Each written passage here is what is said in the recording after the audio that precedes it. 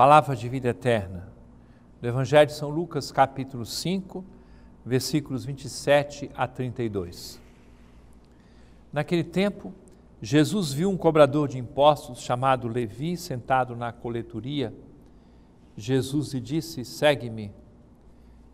Levi deixou tudo, levantou-se e o seguiu. Depois Levi preparou em casa um grande banquete para Jesus. Estava aí grande número de cobradores de impostos e outras pessoas sentadas à mesa com ele. Os fariseus e os mestres da lei murmuravam e diziam aos discípulos de Jesus: Por que vós comeis e bebeis com os cobradores de impostos e com os pecadores? Jesus respondeu: Os que são sadios não precisam de médico, mas sim os que estão doentes. Eu não vim chamar os justos, mas sim os pecadores para a conversão.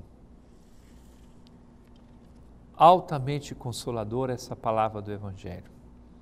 Eu não vim chamar os justos, mas os pecadores para a conversão.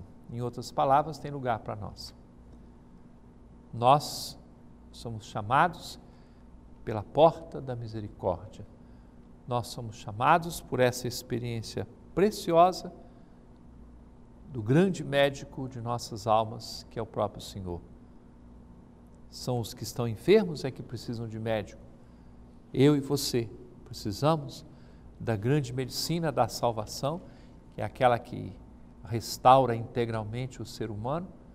É dessa medicina que nós temos necessidade e a ela que nós buscamos com toda a força de nossa alma. Queremos, neste sábado, primeiro dentro da quaresma, fazer a experiência que também Levi, Mateus viveu. A experiência da conversão. Era um homem considerado traidor do seu povo, porque era publicano, cobrador de impostos, trabalhava para os romanos. Com certa facilidade, um cobrador de impostos pode ter um dinheirinho por fora, a respeito de, de Zaqueu, um outro publicano. O próprio Zaqueu disse: Olha, se eu roubei alguma coisa, eu vou devolver quatro vezes mais e vou dividir os meus bens com os pobres. Levi, o cobrador de impostos, estava sentado na banca de cobrança desses impostos. E Jesus tem uma palavra forte: segue-me. Levi deixa tudo e vai atrás de Jesus. Cada um de nós podemos estar sentado na banca de impostos, podemos estar na profissão, seja qual for, o Senhor hoje está dizendo: segue-me. Seja esta a força da Sua palavra a conduzir-nos, frágeis, pecadores, justos, limitados ou não, que sejamos, ao seguimento estreito e estrito de nosso Senhor. Palavra de vida eterna.